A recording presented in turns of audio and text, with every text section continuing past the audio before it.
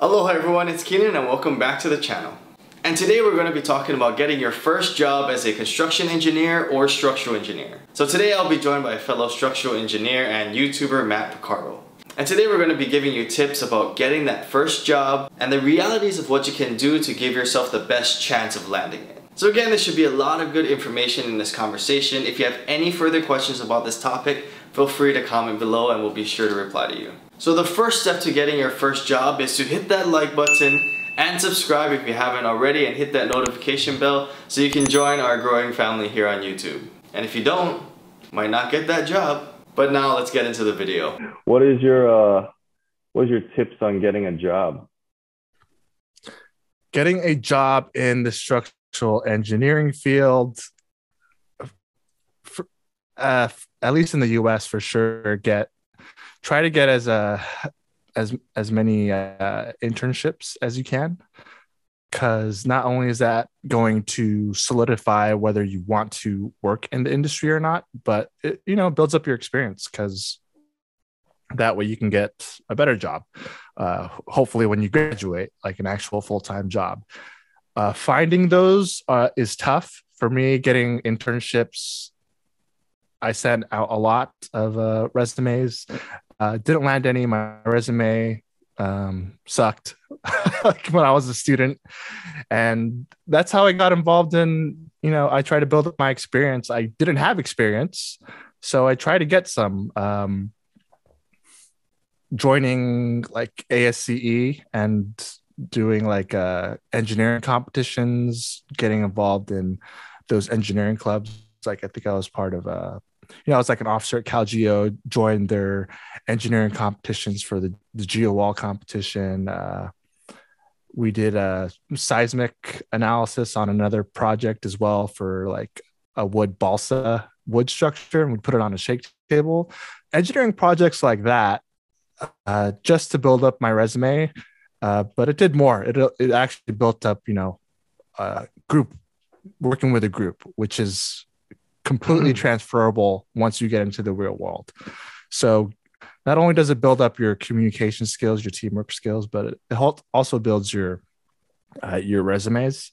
And so once I got some of those things on my resume, that's when I started getting you know callbacks from uh, my first internships. That's how I got my first internships, and doing what other people aren't doing, like. Uh, it's what the first the common thing is to go on the internet go on monster.com or indeed.com and just google and then just send out your resume.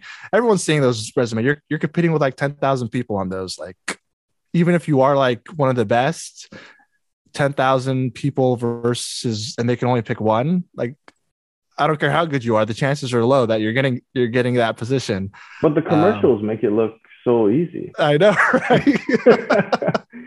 I just saw the one one the other day, and I was like, I don't know, I don't know if anybody that's gotten a job off of Indeed, but this lady got it in the matter of minutes. That's that 0.1 percent apparently, yeah. or that one percent. and you know, it works. Like, try it. I definitely do those. You, you never know. Yeah. Uh, but for me, what worked out the best was going to um, local firms, small firms that don't even have advertisements. Like I would just Google like small structural engineering firms near me, and you can just get in contact with the owner directly instead of uh, trying to go through some whole system. You would just email the owner and just tell them, "Hey, I know you don't have a position open, but if you need help, like right. I can intern for you." and that actually was a pretty good success rate i got multiple interviews from that and got an internship from that so you know start off small like go where everyone else isn't going and yeah what, what, what, what do you mean by your resume wasn't strong what was not strong about your resume you just look like everybody else in engineering mm. school mm. it's like yeah you took statics concrete uh, steel so what like everybody in your class has done that. Mm-hmm. What separates you? What makes you unique? So doing things that yeah that, that take more work, but that show that you're serious about your profession and you've you can work with people and stuff that looks good on your resume i think that's at least that's something that could set you apart from the typical group of people because uh, that's what employers look for. Like uh, an engineer that's good technically is is everywhere.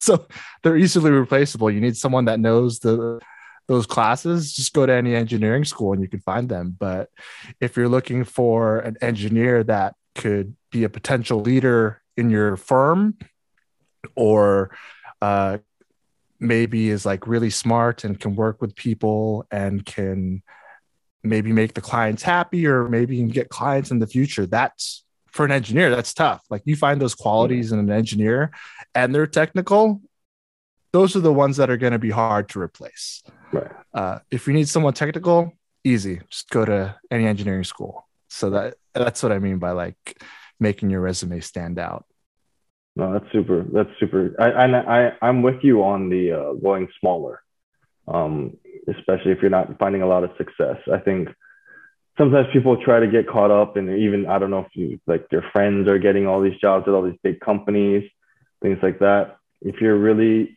really want it, you can go smaller and work your way up because a lot of times I think too nowadays even the bigger companies are starting to realize that GPA doesn't mean as much as it used to, especially in construction. Um, a lot of, but the bigger companies will look specifically at that because when they first see the applicant uh, fresh out of school, because that's all they have to judge them on.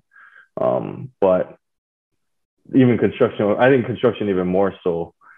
The 4.0 engineering students usually don't pan out well in construction because construction has a lot of nuances that 4.0 students can't really deal with. Um, like how do you how does a 4.0 student typically handle a guy that accidentally flushes his shirt sleeve down the temporary toilet and now you have to like fix the line going up the entire tower right that's not a a 4.0 student they they don't have the tools to deal with or not all of them but a lot of times right the ones that have and have only studied on their own and have it's just not conducive typically to what construction ends up being. Um, so if you have a lower GPA, yeah, you might not be in the bigger companies at first, but once you get your first few years of experience somewhere at any company, that'll mean way more to any bigger company later on than if you're fresh out of school. So it's uh it's a very good tip, I think, to not focus on only, I guess, the bigger companies and try to get your experience in anywhere that you can. And once you get your foot in the door, it's it's pretty easy from there. I would say. Is that what it's like in construction engineering? So I imagine with the construction engineering, you would go into is it civil engineering or is there a construction engineering major or yeah so if it's if you're going to do construction engineering specifically which i would consider like maybe more like formwork design or um, yeah, just just anything that you need for the job. Maybe you could even be for cranes and picking and rigging things like that. Um, then yeah, you would probably need the engineering civil engineering degree background. If you want to work for a general contra- contractor like I do, you could get civil, you could get construction management, you could get. I mean, we ha- we have someone that is a master's in teaching that is working for us as an engineer, as a project engineer right now. Um, so, but it's all about, but all the people that are there, they have the attitude to do the job, which is why I tell people is that if you didn't do super well in school, it's fine. Well, not fine, but it's, you know, it's, it's not the end of the world. You can, if you have the right attitude, if you have the right work ethic, if you have the right mindset going into it, I mean, construction is is all effort and you learn everything on the job. I mean, everything that I that I know now basically came, what, came from experience. Is that what uh, you think uh, general contractors uh, in general look for if they're recruiting like, like a construction engineer? Is uh, like how important are the grades, or is it just more about attitude and, and whatnot? The bigger companies, I think, will focus more on the grades. The smaller companies, I think, focus more on the personality and the how how do they think this person is going to fit within the team. Um, because it, it, it is very important, especially on a smaller company. You only have so many people to run jobs. So one bad egg in the smaller group of people will affect the company more than one bad. I mean, you can have bad eggs in a bigger company that stay forever because um, you can just kind of fly under the radar. But it's, yeah, it's, I think they're realizing now that they need more people geared for the industry than they need more people that look good on paper. Um, so I'm starting to see see more of that in the hiring process.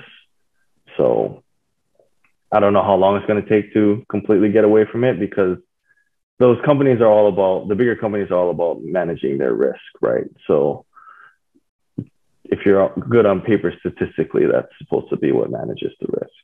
But once you once you prove yourself, yeah. once you prove yourself anywhere, then I've seen people kind of just go in because that's what you're proving at that point. So that's all they're looking for. Yeah, you have a good reputation on paper, but then when it, I think when it comes down to it, they put you out in the field with a group of people. Yes. Uh, how does that look? Yeah, that's know, a, it's, it's, a completely different yeah. ball game. I mean, you can't. Yeah, it's it's yeah, it's and that and that that can that's why you can get a lot of clarity on like what Mat said. You can get a lot of clarity on what you want to do and getting yourself in the door through internships. So like for me, I would have been probably doing what Mat's doing if I didn't do my construction internship. That completely changed my entire career trajectory. And I'm super happy with that decision. Um, but everything in my life told me, you know, grade school, grade school, you know, be be good in the classroom. And that kind of just funneled me into that. And then, oh, but I can build stuff. I can do, you know, that internship taught me what what what else I could do and that fit my lifestyle and what I wanted more to be more outside, to be more hands on, uh, be part of the build rather than being the what we could, may consider behind the scenes, right? Of doing the design work and doing all the calculations and things like that.